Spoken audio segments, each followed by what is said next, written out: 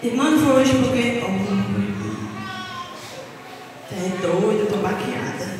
Cansada. Trabalhei o dia todo, mas Jesus diz: Benjamin, vós que estáis cansados e sobrecarregados, que eu vos aliviarei. Porque Ele, irmão, Ele é que é o descanso. Eita, glória.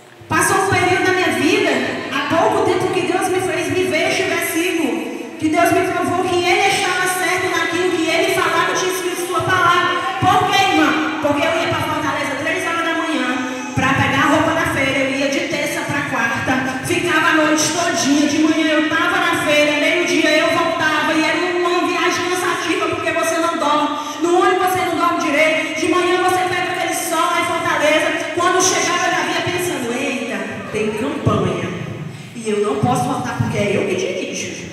Eu tenho que ser a primeira a chegar. Às vezes eu chegava às 5 e meia, 6 horas, comia uma coisa ali bem rápido, tomava um banho, a minha cabeça estava desse tamanho, estourando, mas eu estava no culto.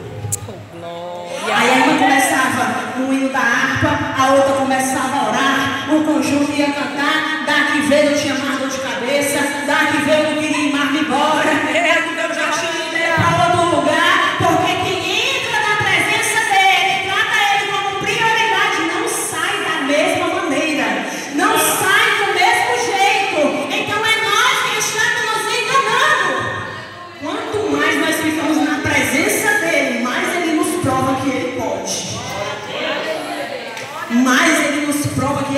faz. Então, uma coisa: quer renovo? Quer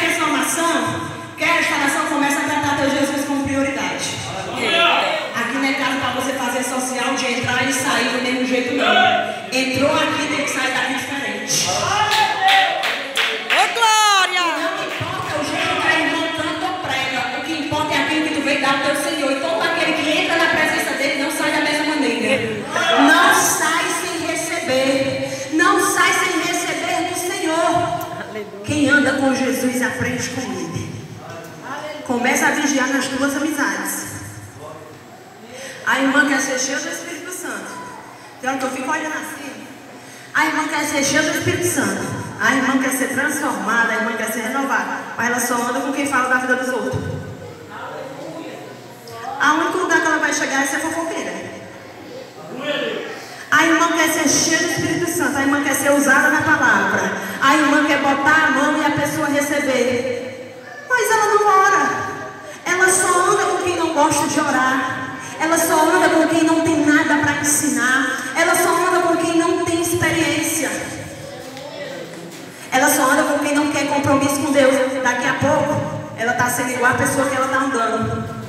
Porque quando nós andamos com Jesus, nós queremos ser igual a Jesus. Mas quando nós andamos com pessoas que não estão no mesmo propósito que nós, infelizmente, o propósito não se cumpre em nossas vidas. Então vigia.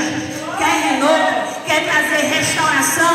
Começa a trazer Jesus para a tua vida como prioridade. Prioriza tudo que tem a ver com Ele. Seja dentro da igreja, seja dentro de casa, seja no teu dia a dia, mas prioriza tudo que tem a ver com Jesus. Só para você ver o que é que ele vai fazer. Tem coisa que você não vai precisar nem falar, ele já chega junto. Tem coisas que você não vai precisar nem questionar, Jesus vai lá e responde. Tem situações que você não vai precisar nem querer resolver. Ele vai dizer isso daí só eu. Porque tem coisas que é só Jesus que faz. Eu quero te convidar para você ficar de pé. Aleluia, louvado é o nome do Senhor.